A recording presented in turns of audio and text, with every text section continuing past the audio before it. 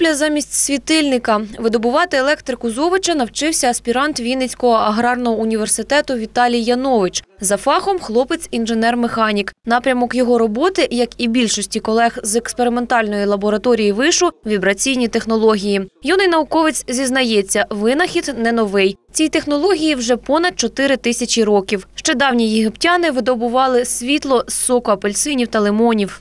Працюємо над тим, що ну, підвищити вихід сили от, струму із, е, е, із барабалин, щоб можна було освітлювати ось такими от стандартними лампочками. Аби звичайна лампочка горіла кілька годин, знадобиться майже 200 шматочків картоплі. На вихід струму впливає також сорт та колір клубнів, каже Віталій. Червоні, до прикладу, виділяють більше енергії. Потрібно металеві гвіздочки або ну, любий металевий провідник і мідний провідник. Все. Чи сама от картопля.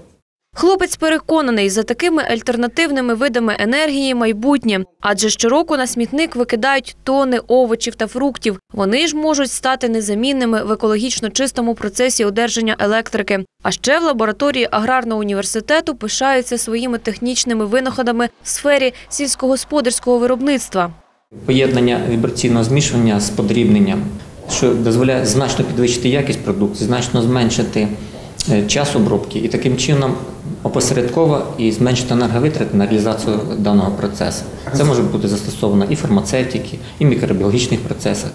Всі новинки можна хоч сьогодні застосовувати в промисловому секторі в масштабах держави, переконують в аграрному університеті. Як сушарку для зерна, так і фармацевтичний змішувач для виготовлення нових вітчизняних ліків. Однак фінансувати ці проекти, кажуть, ніхто не поспішає. Та це не зупиняє Віталія Яновича. В майбутньому хлопець мріє створити двигун та акумуляторну батарею, що працюватимуть на звичайних соках.